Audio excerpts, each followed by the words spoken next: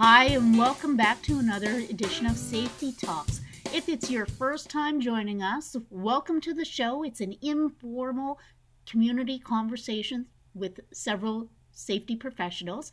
And if you're returning, well, welcome back. We're glad to have you. I'm here with Henry Skjerven. He is a safety consultant from Alberta, Canada. Joining us today is Mary Jo Press. You know her from numerous other talks, Bill Stettiner and Steven Stelpflug. Now, let's dive into our conversation. We're talking about whether or not safety professionals need to take a more leadership role in government emergency management planning. And we'd love to hear your comments about this episode below. Now, let's dive into that conversation. I do appreciate everybody uh, spending some time um, to come together and chat. Um, so, the one thing that we were, I was talking to a lot of people about, um, Henry and Bill and Steve, and I haven't yet with you, Mary Jo, but we're talking about, um, you know, in our workplaces, um, how are we going to make it safe? Um, we're, we're dealing with a public health issue, a virus. And so it, for a lot of people, this is um, out of the realm of what they would typically be looking at dealing with. And so um, how do we as safety professionals and practitioners navigate through this? And so Henry came to me with some, some questions that he kind of wanted to ask the community and have a discussion around. Henry, did you want to share a little bit about how that happened? What Certainly. your thinking was? Certainly. Uh, folks, uh, I'm Canadian uh, registered safety professional, member of the Canadian Society of Safety Engineers and uh, or engineering, pardon me, up here, and um, been working in occupational health and safety forever. Did the environment side and do the environment side as well. Uh, Mary Jo, like uh, like you're tasked with.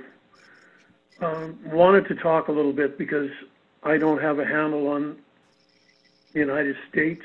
I have a good handle on Canada, on what's going on, but uh, I really wanted to know what involvement safety professionals had in the United States in respect to coordinating the response to the public health crisis, um, in respect to, uh, well, as OSHA says uh, right now, uh, the hierarchy of hazard controls.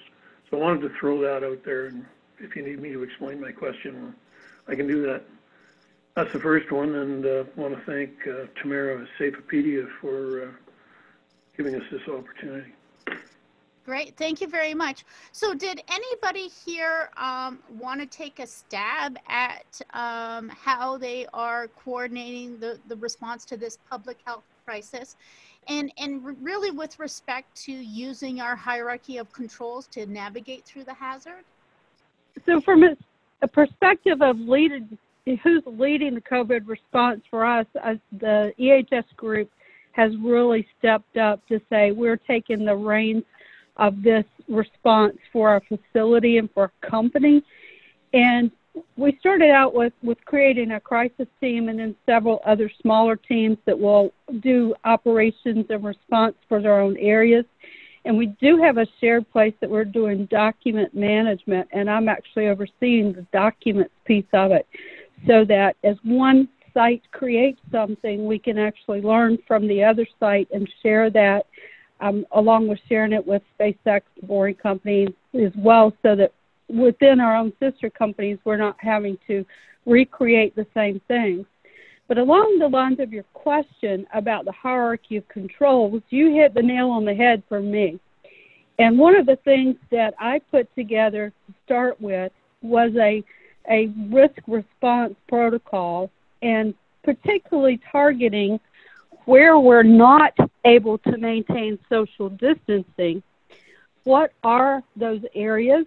Let's assess them and then let's look at what are the potential protective measures that can be put into place.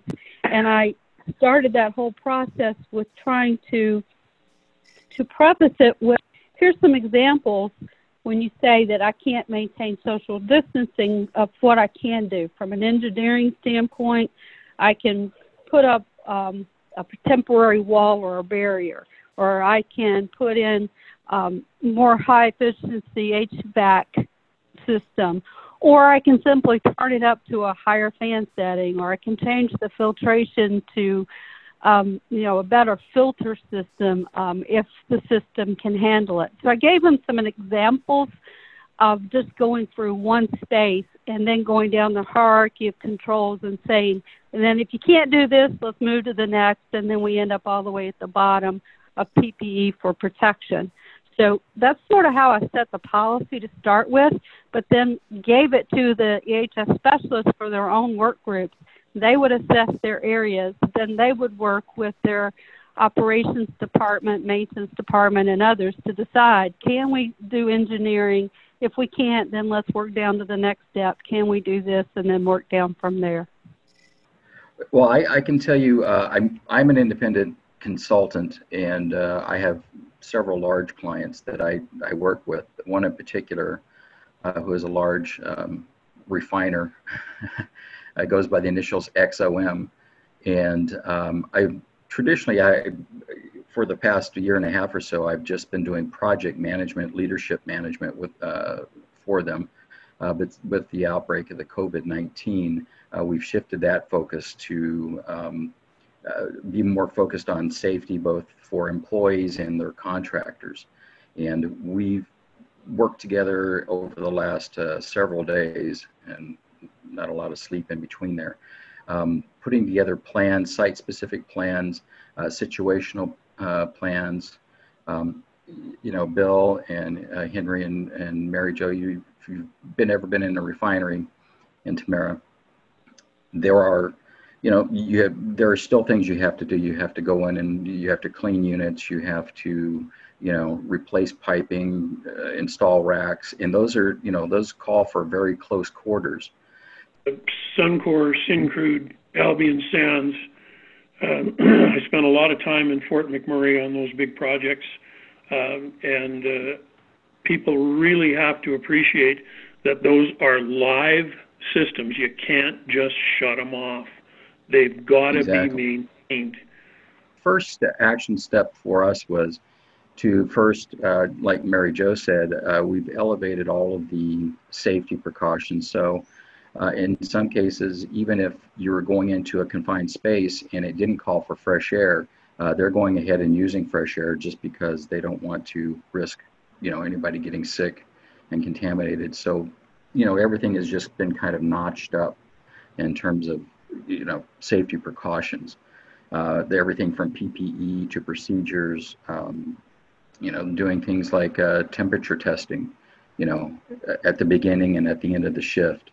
Um, things like that so they can at least identify, hopefully, you know, if anybody has begun to develop symptoms or is coming to work with symptoms. Uh, and anybody who, you know, gets to the gate and um, they are, you know, exhibiting any symptoms, then they're sent they're sent on their way home. No, no ifs, ands, and buts, and it doesn't matter if you're a critical, um, you know, skill set or not. Uh, they're just not willing to risk it. Can I drill down into uh, into how you're uh, doing two things? Uh, one is when you're turning them around and walking them, saying go home. What are you giving them in terms of a communication and a contact? And the second question is, um, when you're turning them around at the gate and it is a critical skill set, how are you backfilling? That's a great question. It's they've they've already set up. I don't want to call it triage because it's not really triage, um, but they have uh, developed. They've increased their alliances with uh, area health clinics and uh, urgent care centers, um, you know, industrial health clinics and urgent care centers um, in some cases, just even pharmacies like CVS, pharmacy chains, CVS, um, Walgreens, etc., are now beginning to step up and offer at least the initial care and uh, some, in some cases, testing um, in some of the sites and some of the locations. So let, let me ask you, because in Canada, we're still in the, the control phase of the viral infection. Um, we have very little infection based on our population compared to other places in the world, including the United States.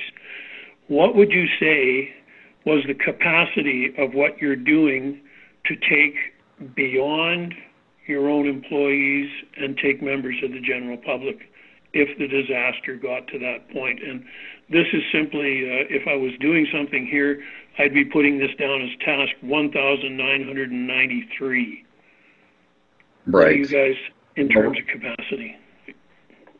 Uh, We're, we're pretty much limited in terms of our, of the resources that are available. I, I'm not Yeah. talking monetarily, I'm just, I'm just talking of, you know, people, boots on the ground. Um, Yeah. so right now, the top priority is to make sure employees and the, the contractors are, are safe. Um, because as you said How about their families? Sorry to interrupt again. How their about their families. families? Well, the first thing is to get them, you know, if they are, if they are exhibiting symptoms of, you know, the, the flu or, or COVID, um, in terms of elevated temperature, because that's really the first, you know, that's the most obvious sign for any of us, um, as far as we know right now, um, given what we know. To answer your question, I mean, it, the emphasis right now is, you know, it's really, it's more employee contractor focused. Um, the capacity beyond that, uh, I, you know, right now down in the states, most of the areas that that I've been in contact with, that's all being left up to the public health agencies and and uh, traditional healthcare. Uh, my question is really specific to uh, British Columbia, Washington State, and California, and I don't know if any of you folks um, would would relate to uh, to what I'm going to talk about, and that's migrant workers uh, in British Columbia. Uh, very much uh, crop and specialty crop oriented, and we bring up uh, lots of uh, people from South America, from Mexico, to uh, to do that. They're they're all brought up here legally, but one of the things we've done in British Columbia is say, listen, they are an essential service. They are an exception. So we haven't blocked those folks from coming up the coast into our country simply because we don't have the labor force to do that work. I just wanted to share what we did in China, similar to that, just food for thought. And that is when they were bringing people from other provinces based on where they were coming from. They had to quarantine first before they were allowed to enter the facility and then went through temperature checks. But they, they had a stricter government control of knowing if you're coming from province, whatever, what that quarantine period is. I'm, I'm hearing that most that are getting people coming from an area that you don't really know, you do a 14 day quarantine, quarantine period for your contractors. Now, Um, the, the first would- time we'll see them is screening them at the border. Right, but before they come into your site, you can have them control. quarantined. Okay. Then that that would be a very big concern for me because you don't know what they're bringing you. It's a change in the law that was made up here, and what I'm really looking or asking for is, do you think it's good or bad that we did that? I don't think it was, in hindsight, I don't think it was very prudent. I'm sure at the time there were, you know, good reasons to do it, but they don't seem, you know, don't seem so to to be so smart to do right now. So there may No, be something I don't We know. had a bunch you know, of folks up here growing our pot that they shipped home, growing your what? growing marijuana for uh, British Columbia to sell in the marijuana stores. Um, so you've got you've got people who you don't know the medical history of or the current medical status of uh, uh, uh, uh, processing a crop that doesn't get any sort of filtration and then is either uh, smoked or vaporized uh, into the lungs. Yeah, And how currently have- COVID nineteen? Right, and we currently have a respiratory pandemic. So it I'm going to have to agree with Steve. It seems uh, uh, problematic. Now, Yeah, I mean, we just have to it- tell people to stay away from smoking pot. well, yeah, but it, it's it's a standard risk management practice, right? Oh, here's something we don't want to be in control of, so we'll hire it out. And that way we have no risk, right? Oh, absolutely. And and it and it's a it's a problem, right? It's like moving all the manufacturing to other countries. It, it's all about oh, we're gonna we're gonna save cost and we're gonna reduce risk.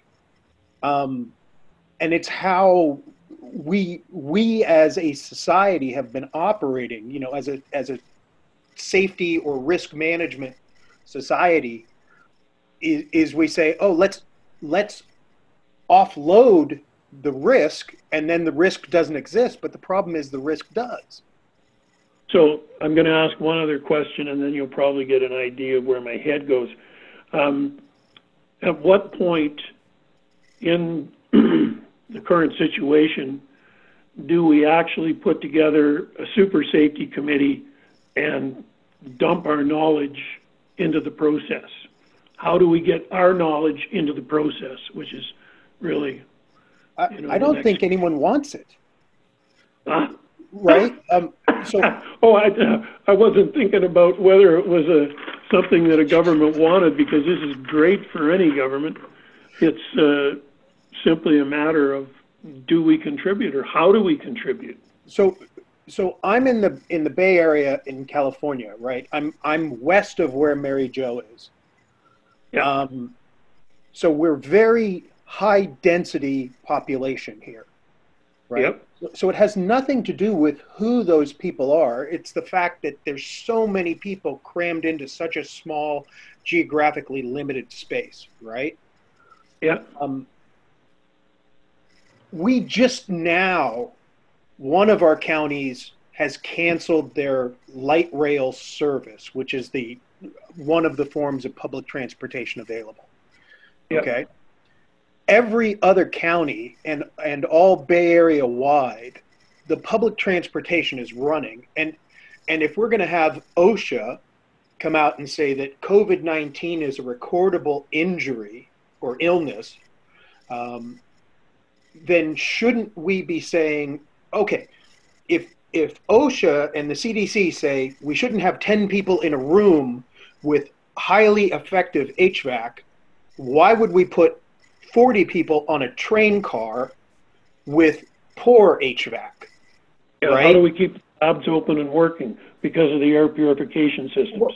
Right. And then, you know, so there there isn't the money or the desire to improve air purification on public transportation, right? Absolutely not. They'll just kill everything, start fogging it. They'll find that's ineffective, and there'll be uh, community spread on that. But they have to keep it open because they have to keep people going to work.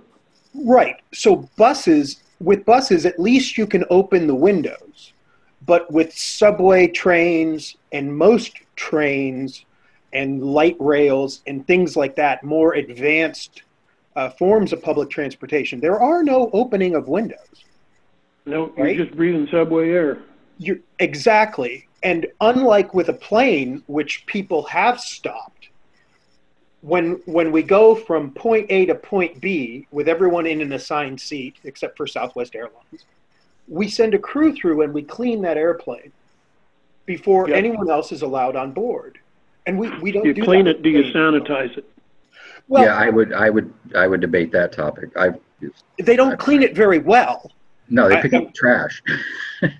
Well, Maybe. But, but my point is, no matter how poorly they clean it, they clean it, right? Correct. Right. No, No. one, no one No, cleans no, the no, bus or the train or the subway. We have to agree to end of the day. disagree on that. Oh, okay. Um, There's, there's a big difference between clean and sanitize. Oh, and, yes, uh, We'll just leave it at that. Go ahead, sorry to interrupt. Henry, I I agree with you. Sanitizing is totally different than cleaning. Uh, my only thought was they're not even cleaning the bus or the train car or the subway car until the end of the day. Yeah, it has to go out clean, then it should, Right. it depends on their, their procedure, but it has to be cleaned more than once, and it has to be cleaned with sanitizers. Okay. Now, I when when I was a firefighter in Santa Clara County, Yep, we were our our medical procedures were governed by the Santa Clara County Department of Health. Okay. Yeah. And so one of the things we had to do was we had prescribed methods for cleaning backboards. Oh, yeah. Okay. So in between patients, gurneys and backboards and anything that will continue to touch a patient must be sanitized with Clorox, wipes, and other things. Okay. Yeah. During the MRSA epidemic, the MRSA, Yeah, MERS. They they tested uh, the county's backboards and they found that the contaminant existed on greater than 80%. Okay? Because even Yeah. though we were trained and skilled professionals with prescribed methods of cleaning, spots were missed. I spent six years with the City of Edmonton Fire Department. Okay. Uh, I was a safety uh, manager at the time. I uh, implemented uh, absolutely the same type of thing. I didn't learn about sanitization till I got into the commercial meat industry at the slaughter level. That's where I learned about sanitation. It's scary, you know, people think Yeah. it's clean and man, it's not. no. And Um, I'm just going to jump in here because I want to move us along and and start to open this up about how, how does safety as a professional group really best assist with the NPIs in response to this. And and and Henry, maybe you can kind of crack that open about what you were looking for, and then Mary Jo, if you could kick off with your thoughts. Thanks. Uh, NPIs are non-pharmaceutical interventions. Uh, I didn't know what- what that was till three weeks ago. Bottom line is, how do we assist, not just in our companies, but in society in general and the government, senior leadership, in terms of offering our assistance of getting involved because we've got all these great skills.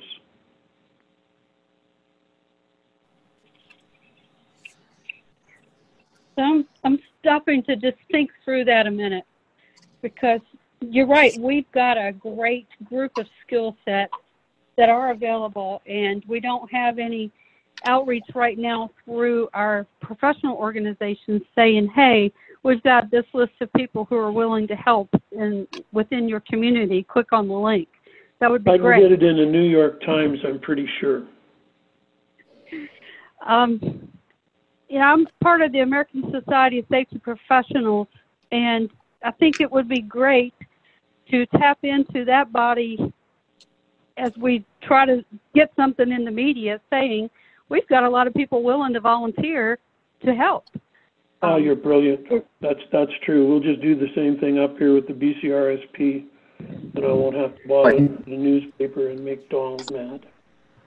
Also, I think if you start at the community level, so I, I'm somewhat Yeah, fortunate. we've, I'd, I'd, I'd like to go big picture and drill it way down into the community level, because we've probably got in the province of Alberta over a thousand safety people that are doing nothing. But where I was coming from was if you start at the community level and then work out instead of drilling Oh, down. You know, Absolutely. you- We have a great system up here of community organizations. We could send safety professionals into all of their committee meetings, and they're holding a lot of them virtually up here. So that's another great idea. Go ahead, though, on, on the community. Expand on that, could you? Well, I was just going to say I- I'm very fortunate. I live in a very small rural community. Um, so to this point, we haven't been very much affected other than, you know, people are being very cautious um, in taking steps to not, you know, not, be- not expose themselves, which is a good thing. But at the same time, uh, there's nothing stopping myself or my next door neighbor or anybody around uh, from going down to our local city hall and saying, you know, let's start a list and find out who is in the community. And we have, you know, different social media that we can use. If the local leaders just put it out there, I'm sure, you know, you're going to get people that will be volunteering or stepping up at least to identify Yeah, and- You know, this is a communication strategy that I'm really trying to flesh out with this uh, this discussion.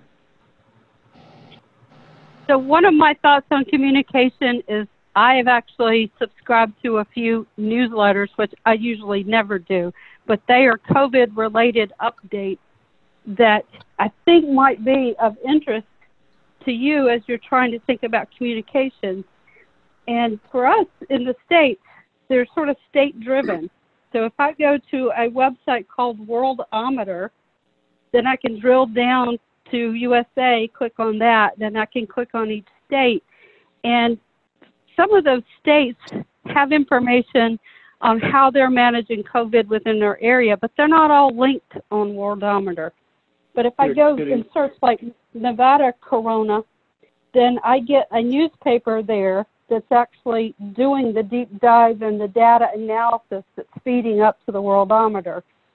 And it also shows things that are going on, and it would be a good place to say, here's here's resources available to reach out to. So California's got a similar page that again is run by a news group that's doing the same thing.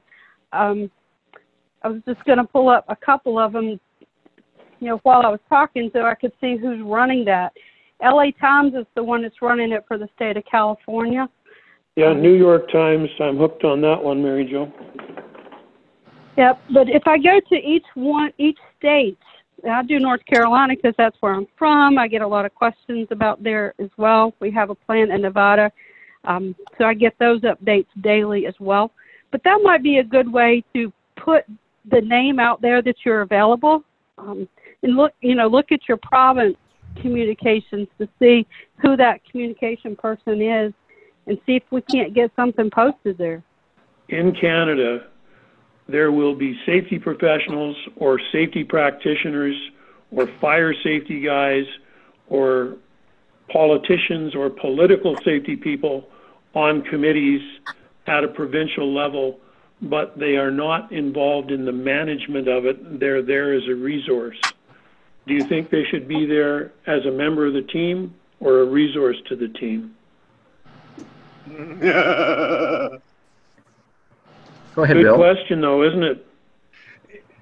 it, it's a, it's a marvelous question, and and I think when when we when we put people into leadership positions, are we looking at a technical expertise? Are we looking at leadership expertise? Are we looking at loyalty and longevity? You know, what are we looking at? And generally, uh, at least in in America, I don't know about Canada precisely, but we're basing everything on uh, academic success, okay, as opposed to uh, anything else. So you might have someone who has a master's degree or a doctorate degree in an unrelated field running uh, a, a regional or state or federal uh, emergency response organization that is staffed with lots and lots of uh, uh, fire rescue and emergency responders, first responders that are on their staff. And so we're dependent upon that person being smart enough to listen to their staff. Um, and, and that's just, So we're, That's we're just kind of trained, the way it we're, we're trained with the same manuals you guys are trained on for emergency response on the fire side. And at the provincial and state level where emergency response is still running it on the So- reaction side. The- So we Yeah, you've learn from an the same Office of book. Emergency Services, and and it might have a different name, and everyone's got mutual aid agreements and things like that. Oh, all over the place, sat on committees everywhere out there, uh, Fort Saskatchewan at the, uh, Exactly. So, but you know, we we as emergency uh, responders or first responders bring forth information to these leaders, um, and we say, "Oh, well, you know, the smart thing to do is let's stop all public transportation." And then the leader says, "Well, we can't." Just like you said, Henry, we can't stop all public transportation right? We have to keep going. uh, everyone will will freak out if we stop it. People won't be able to get to their jobs. There'll be riots in the streets. It's not necessarily a better idea to have uh, first responders or trained safety people or, or accredited safety people in those roles. That that role is trying to accomplish uh, many tasks uh, or, or is beholden to many leaders at the same time. Does that make It's sense? impossible, yeah. Yeah. Yeah, it is impossible. Response is get there, handle it. When you have to actually get to business continuity, get other experts in. When you have to get to total recovery, get the politicians in. It's, it's like steps one, two, and three. And emergency response is one. Would you agree? Yeah, and honestly, we seem to like that better, right? Being reactionary is so much more fun than being proactive. and it's so much easier because it's all written down. Right. And, and all you have to do is find people to blame, right? It's so much easier to go to people and ask for money to be proactive about something that's not an immediate threat. It's tantamount to disaster. Yeah. It's it's kind of like what I experience in working with clients, and particularly regarding crisis management and putting together crisis management plans. If there's no crisis, nobody wants to talk about it. You know, it's it's one of those things where you know it's almost like we don't want to even broach this subject because we just we, Bad luck. You know, you know they, they put their fingers in their ears and they don't want to either they don't want to pay for it or they don't want to think about it until a crisis hits. And then you know then it's like oh my gosh well can't you just push a button and give us your plan? Well no it doesn't work that way. So you know it, it so what um, uh, what henry what you're what you're look you're asking is i think are we looking at doing something ahead of the curve or are we more comfortable doing something behind the curve That's a that's a really good question. Where do safety professionals think they best fit? Well, we all, uh, we- everybody in just about in the safety profession knows we do, we are much better at doing it ahead of the curve. The problem is convincing the business leaders and the politicians and everybody else that that's a good idea. Yep. Well, We're frankly, uh, we're we're way in the- past response planning here. I Exactly. think. we're in the we're in the situation now where we have to do both. We can respond to the disaster that's occurring every day, but we're also needing to be in the proactive mode of thinking what we can do for tomorrow. So we as safety professionals have to wear both those hats right now. We have to still deal with today's crisis and be in the business of business continuity and how are we getting back to our new normal down the road. So I think we have to step out of, you know, what's wrong with the the situations and, you know, if the right people are on the committees or not, and just think about, you know, what role can we play to make a positive impact going forward? Because that's really all we can control. Um, I agree with what you just said as well, in terms of getting back to work and getting back to work correctly and safely, because it can absolutely be done in terms of managing the hazard. And that goes Correct. back to the first question we talked about tonight. Steve or Bill, did you have um, something you wanted to add? Well, I just want to go back to something that uh, Henry talked about a little earlier in that, uh, th- you know, COVID 19 is pretty unique. I think we can all agree on that. I don't think we've ever, you know, in our lifetimes have seen anything like this.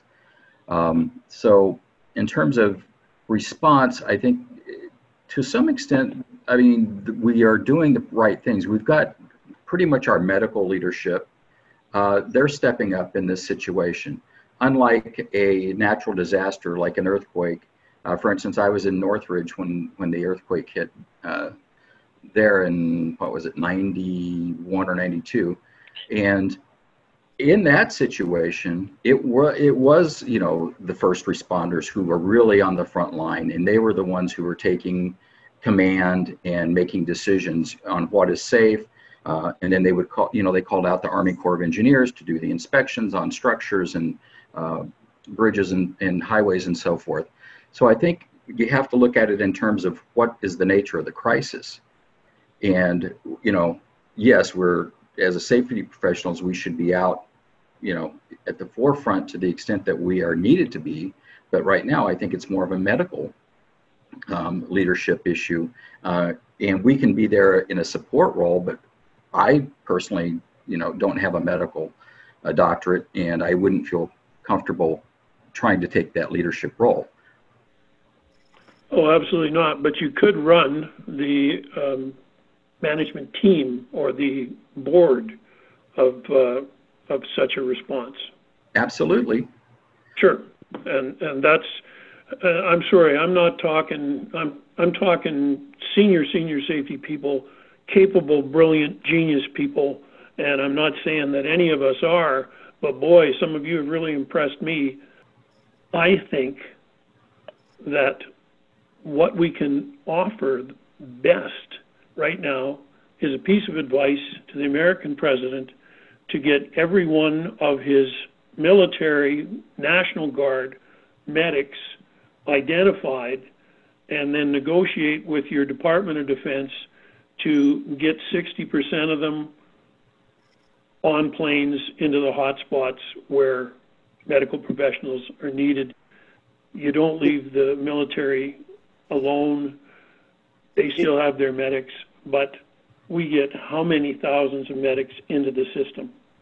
It, it's it's problematic because uh, to even as an EMT uh, to practice, you have to have a, a county license. Okay, and in order to get that county license, the easiest way is to have been accredited by national testing. Okay. Your president has the power to uh, cancel that. Uh, um, I'm that is that is possible, but it it falls under uh, the Department of Transportation, the Department of Public Health, and a few other things. Uh, when when uh, the military responds to emergencies like uh, uh, hurricanes, and tornadoes, and things like that, military medics go but they're generally only allowed to do first aid type stuff um, unless they have, uh, you know, unless they're there as a unit under the command of a licensed doctor.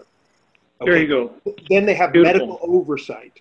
If we just grab the medics, they're not, you know, because a, a, military medic is allowed to do uh, IVs and other things, and an EMT is not. Yeah, uh, you're, If I could just jump in for a second. sure, sure. The president has already given the call for retired physicians and nurses to come back, and they don't have to have their license to be able to come back and support, and they're returning by the droves. We also have Army medics um, that can do the same thing. Um, you know, there's there's so many people that have served in the military and have that ability my husband sitting in the other room, for example. He he was a corpsman. There's no reason that we can't activate those people who have the skills to help. The, while we all agree, I think that normally reaction is easier than proactive actions. After something like this, a very small window, proactive yes. actions will be uh, popular and available right? Um, there, there will be money, there will be people listening, right? And so our opportunity is coming when everyone stops being terrified and buying all the toilet paper until everyone goes back to normal there will be a small window and and that window is when we have to be ready to to strike and and get a foothold on you know improving reality right so little things that we can do is we can all talk offline there's a, it, it's a marvelous thing because now there's all these safety people who have extra time on their hands because nobody's at work. So, and except for Mary Jo and Steve, right? Um, so as we as we war game scenarios, right? You know how we stop the next pandemic. You know we're we're not qualified to to stop the next epidemic because we're not medical doctors, but but we can put in place uh, uh, sound ideas or contribute to the people who have the ability to make those decisions sound ideas for okay we have an epidemic here how do we prevent it from becoming a pandemic i, I love what you're saying the only uh, thing that i would add to it is that while we may not be qualified to contribute medically to the control or success uh, of treatment of a pandemic. As safety professionals, we are certainly capable of running the response and saying, give me 15,000 doctors here, give me 15,000 um, sure. respirators, give me 15,000 medics, blah, blah, blah. We can still run that plan. That's a well, scenario think, we can game very, very well. and we do that. And we've got safety professionals doing – both those things. So some cross the lines and are also paramedics. I've been one for 30 years. So I think we have to think a little more generally here, not think about just the view that we've seen, but think about what we can offer for the whole big picture going forward. We have to start trying to lead our safety professionals to think, what about the future? How do we prepare from now to get to where we know we need to be? And I, oh, yeah we have to we have to start engineering uh, some of these responses into our processes and systems. Just like uh, you know, in the refineries, uh, in um, processing plants, you have process safety um, engineering, and I think if we are um, process safety management, which these are engineered concepts. They're you know when units were popping off, you know, back in the 70s and early 80s in refineries, you know, the, the people said, hey, you know, the leaders that the powers that be said, hey, time out. How do we engineer safety into our processes so that we reduce our risk, minimize our risk, and ultimately reduce our cost and loss of life? So, or something along those lines. Uh, reduce no our costs, loss of life is a negligible point. Yeah, I won't be. I'm not going to go on the record as saying that, but um, oh, no, I, I'm just talking from a profit motive side, not personally. Absolutely. But at any rate, either way, whether it was to save money or uh, reduce their insurance cost, whatever it was, they found a way to develop this concept called process safety uh, management (PSM). And this, what they, what has not been included in that process or engineered into that process to this point is a response to a uh, a pandemic such as this. But I, I think if we ta- apply those same principles that you would in, uh, in process safety management to this situation, you can, you know, take advantage of uh, Bill's window of opportunity here. So we do have some response things that are already built into FEMA and ICS. In fact, when I was in in my master's program, I wrote several papers about responses and how we've learned from the past and apply it to the future. And this is a perfect example where we need to take today's situation and be able to come out of this miles above in the future. I participated in a tornado response in Petersburg, Virginia, almost 30 years ago that we identified having radios on the same frequency is what led to our success. And we had learned that from being at the NASCAR covering safety for no dollars so that we could get money for the Volunteer Rescue Association. We learned how to respond together. That's part of what instituted having statewide frequencies on the 800 radio systems. And if you look at the news articles about looking back to that tornado, it says we learned from that and we changed how we set up our communication systems for the future. We can take this same issue and we can leapfrog it into how do we have a, a process management plan when it comes to business continuity and disaster management so we can leapfrog for the next future. Exactly. I mean, Dig Alert is a great example of that. You know that everyday people use all the time. You know, it's simple. You're going to ex- excavate a trench in your backyard. Well, you not, might want to find out what's underground, and we set up the Dig Alert. You know, the one eight hundred Dig Alert system. So, just We have that up here too. Beautiful. Mhm. we've got the knowledge. It's not. It's not a lack of knowledge. But I think it's. Go ahead, Bill. no, no. After you. So sorry.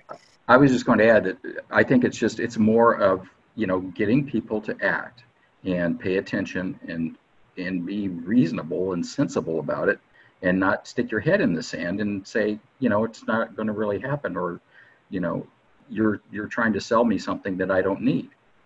We tried to get them to do tabletop exercises for years, and now they're in the midst of the situation and wish they had practiced.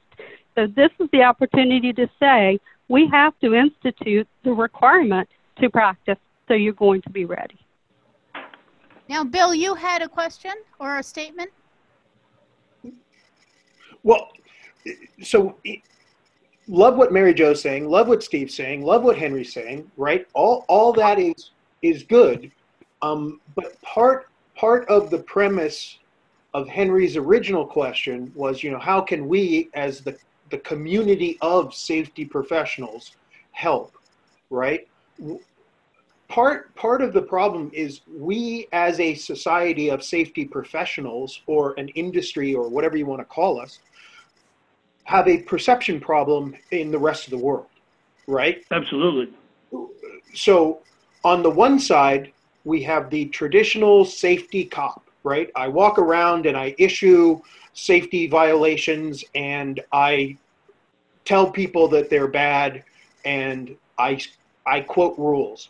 And on the other hand, we have a different view on safety. And the problem is, it's not just one, right? We've got five or six different views on safety. Um, and where we're trying to say, oh, let's be process based, or let's let's look at this scientifically instead of carrot and stick. Okay, uh, whether you call it safety two or safety differently or resilience engineering or whatever you want to call it, in, until the Canadian BCSP and the various associations of safety professionals can wrap their arms around having to pick one right? Just just like the the uh, medical associations say here are our guidelines. Here is what is good medicine right and if you're outside of this you whatever you are you're not a member of our association and we don't recognize you. And, and so we we need to take a stand on safety to build up our uh, uh, I, value is the wrong word to use, but maybe uh, uh, build up our uh, uh, cachet of of ability, right, and perceived ability to be taken seriously. Yeah. Oh, that's fabulous. Mary Jo, you're an EMT. You say you have a husband in the other room who's aware of everything that's going on. What would you do with your family right now? I've got a daughter 5,000 kilometers away. I got two sons 30 kilometers away. One of them's traveling 1,500 kilometers away. What would you do with your family?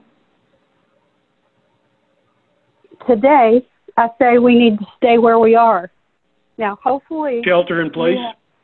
Yes. So hopefully we have prepared by being self-reliant. We built up our food storage. We didn't have to panic shop. We we really are back to the basics and making sure we can take care of ourselves for a few weeks and not have to worry about going out the door. I think that's where we are today.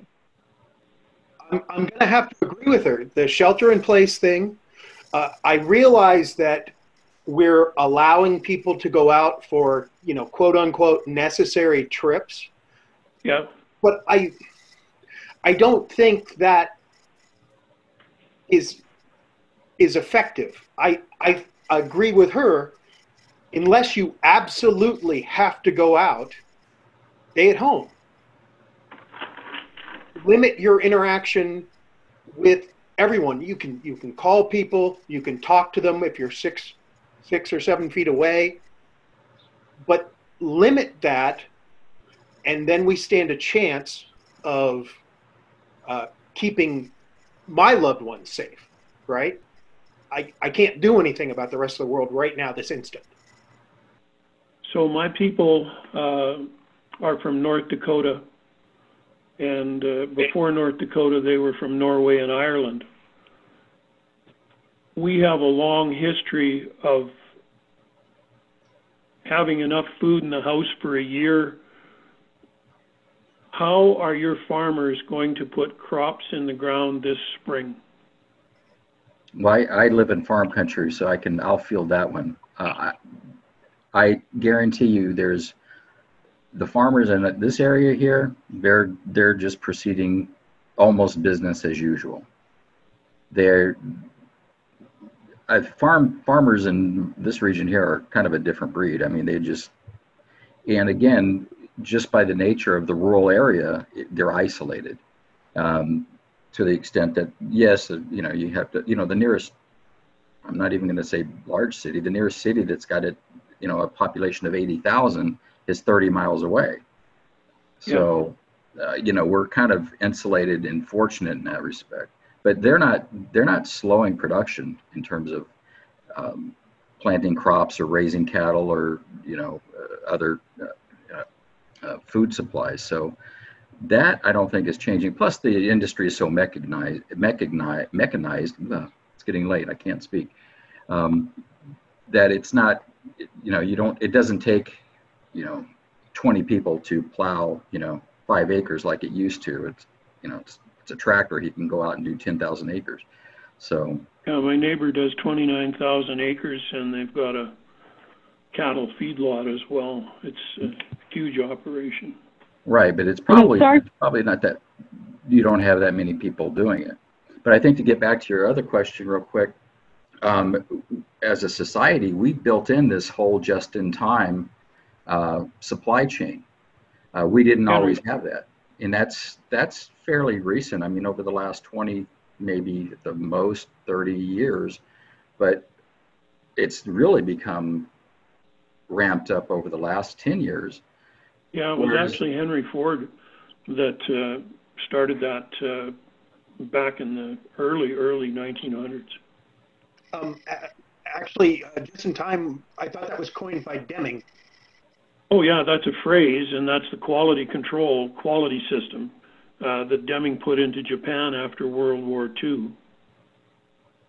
Right, but it didn't really resonate here until I would say until the mid 70s I mean, or the early 80s, but we've just become uh, so accustomed yeah. to that. You know, yeah, I just no, need something. I'm going to go to the store and pick it up. Yeah, yeah. I mean, Deming, uh, very good textbook on management, or pardon me, uh, on uh, quality. And Drucker's got a really good text on uh, on management. So but maybe looking, guys, looking they ahead. all come out of the Henry Ford School of Business. Yeah, but looking ahead, maybe as a society, we step back just a little bit and say, hey, that may not be the best model. Um, maybe there's a hybrid that we need to do or adopt, you know, go back to some of the, you know, the older ways. Because stores, you know, I've, I've been looking at things all over the internet and on the news every day. Stores shelves are empty, they're bare, and they're not, you know, it's getting difficult to get replenished, you know, supplies replenished. And you know because you've got this situation where now everybody's just out buying. And scared whereas if we were already stocked to the to have you know as mary jo says to have a couple weeks food then you don't have that panic but if i've got enough food for two days yeah you know people are panicking but we've created that yeah we absolutely did create it because it gives us a better handle on the control of the money. Well, I want to thank everybody. That is the, all the time we have for today. So thank you so much, everybody, for coming and joining the conversation. It was awesome. Thanks, Tamara. Certainly was, and thank you so much. I am so very, very impressed with you folks, and thank you for uh, for sharing with me your thoughts on this. It gives me some comfort. Henry, it's been a pleasure, and Bill and Mary Jo. Buddy, Thanks, everybody. Thanks. bye-bye. Bye-bye. Bye. See ya. And thank you for joining us for this episode of Safety Talks. We hope you enjoyed the show with Henry, Steve, Mary Jo, and Bill. If you're looking for the show notes, please navigate to safeopedia.com and you can now find them under the podcast tab. If you're looking to go to a virtual conference, we've got one for you Safety Connects happening October 2020.